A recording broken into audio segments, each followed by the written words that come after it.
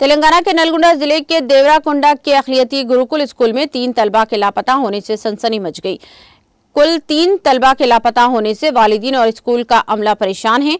तीन बच्चों की तोफीक उमर अब्दुल रहमान और मुजीब की शनाख्त की गई है, जो दसवीं जमात के तालबा बताए जाते हैं। प्रिंसिपल की जानब से पुलिस स्टेशन में शिकायत दर्ज करवाई गई है। सरपरस्तों में तशवीश की लहर दौड़ गई। पुलिस ने मुकदमा दर्ज कर लिया। तफ्तीश जारी है।